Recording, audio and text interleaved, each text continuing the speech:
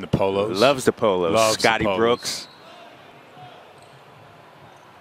Bryant, no hesitation. Jumper. Yeah, I mean, the Sixers look like us last year. They just, to me,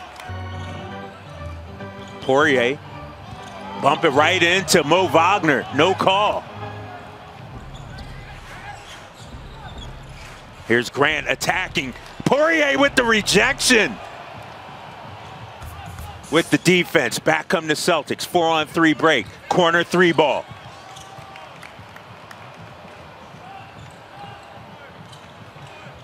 Grant in attack mode. Foul on Wanamaker. at that point, just stay and let Wanamaker shoot his shot. Grant too strong. Maybe. You know, we know he can play defense, so he knocked down some shots. You, you never know what Brad will do. But I think it you if you play the Leonard or somebody in the offseason, so and they thought that they were going to be able to land a big time free agent, which they sort of missed on. Longer for three. Coming down on someone's knee. That Ooh. that right there is a play that I just I always think bad things are going to happen on those type of plays. Grant Williams stays in. Williams throws it down. Hey, good pass by Grant Williams.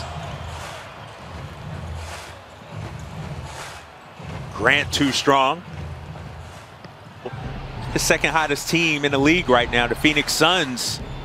A perfect 7 0 down there. Tacko changing that shot.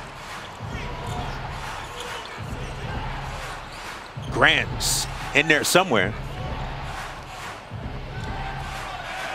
Oh, that's a tough look. For play on Brad Wanamaker, but that's good basketball.